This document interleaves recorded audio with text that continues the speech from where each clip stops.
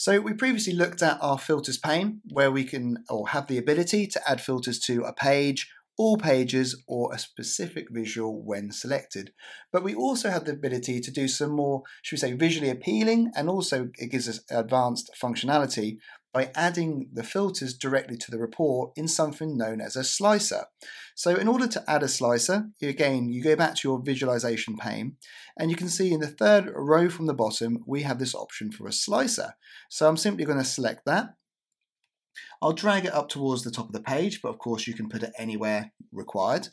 And let's just drag into this uh, assigned to. Oh no, actually, let's go category. No real difference here, but I'll obviously change my mind there.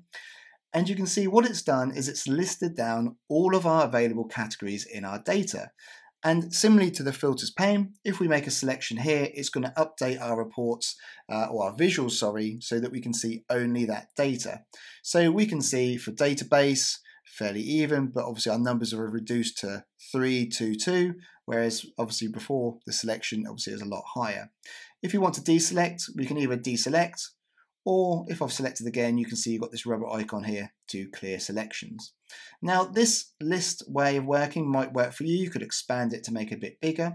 But if you want a true drop-down sort of usability, all we need to do, having got the slicer selected, is go back to visualizations, go to our formatting option, and you can see the first one we have is slicer settings. And this is where we have some options available to us.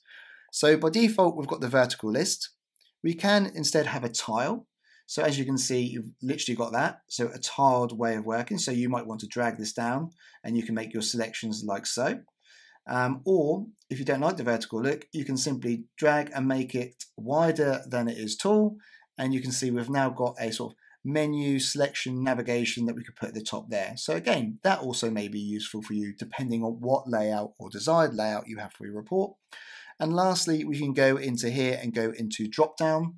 And this time, if we now condense this down a bit, because it's quite large now, and move that to the top corner, we now have a drop down selector. So we can go select our drop down, we can see all of our available options, make a selection and deselect, and you can now see everything has been filtered to analysis. Of course, more formatting options are available, so selecting that one last time, going into format, you can see we have other options. So if we go into selection, this is where we're able to say if we want to enforce only a single selection or a multiple or even show a select all. So having ticked that, you can see we now have the additional option of select all available to us. And last one's probably to cover off, as always with everything, if we go into general, is we have the ability to, oh no, sorry, go into visual, we have the ability to change values. So change the sizing of font and text while I'm doing the drop down there. And of course, also do this to the slicer header as well.